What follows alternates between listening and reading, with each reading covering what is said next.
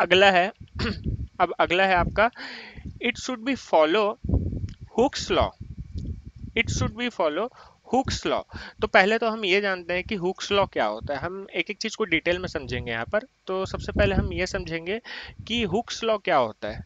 उसी को हमारा कॉलम फॉलो करेगा। जैसा भी, जो भी हमारा हुक्स लॉ कहता है, उसे ही हमारा कॉलम फॉलो करेगा।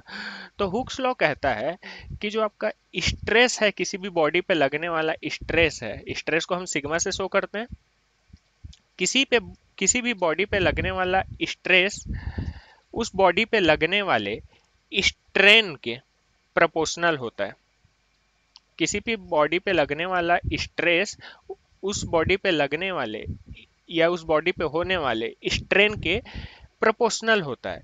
तो यहाँ पर फिर आपको एक, दो नए टर्म पता चले।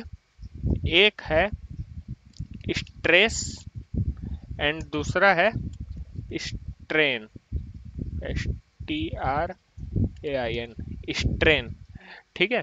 तो आपके लिए दो और नए टर्म हो गए स्ट्रेस और स्ट्रेन तो ये क्या होता है?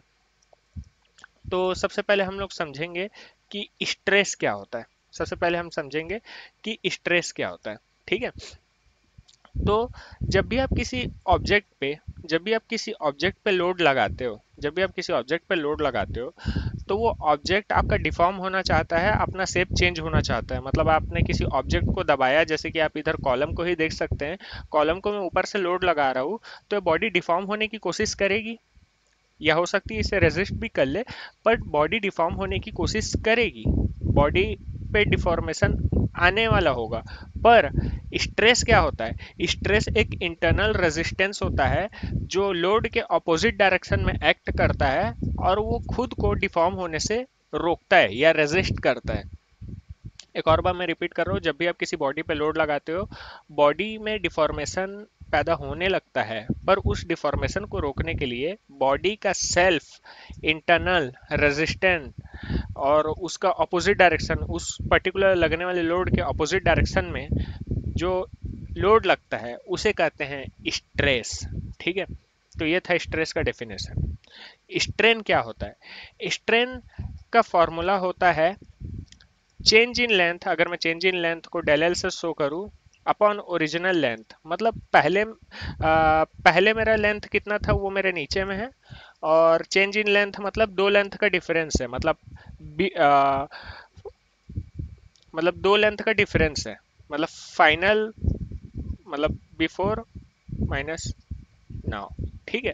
तो डेल एल का मतलब है कि हमारा लेंथ कितना चेंज हुआ है। दो लेंथ के बीच का डिफरेंस है। मतलब पहले कितना था और अभी कितना है उसका डिफरेंस है डेल एल और एल है हमारा लेंथ ठीक है? तो स्ट्रेस और स्ट्रेन। तो आ, तो जो हमारा कॉलम है, वो हमारे इस हुक्स लॉ को फॉलो करता है, ठीक है? और जो मैं रिलेशन बताया हूँ ये हुक्स लॉ वाला जो रिलेशन बनाया हूँ, ये सिर्फ़ और सिर्फ़ आपकी इलास्टिक लिमिट तक के ही काम करता है। इसका एक डायग्राम भी बनता है स्ट्रेस स्ट्रेन डायग्राम इसका एक डायग्राम भी बनता है स्ट्रेस स्ट्रेन डायग्राम जिसमें जिसमें वर्टिकल में मैं आपको शो कर दिया स्ट्रेस हॉरिजॉन्टल में शो कर दिया मैं आपको स्ट्रेन ठीक है? और यहाँ से यहाँ से आपका ये। तो आपको जो यहाँ लास्ट में मिलेगा, ये वाला जो पॉइंट है, ये वाला पॉइंट ये है आपका इलास्टिक लिमिट ये है आपका इलास्टिक लिमिट ठीक है?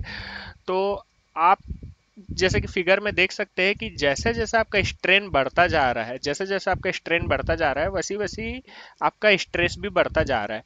तो ये फॉलो कहाँ तक करेगा? आपके इलास्टिक लिमिट तक के, ये है आपका इलास्टिक लिमिट तो ये आपका फॉलो यहाँ तक के करेगा।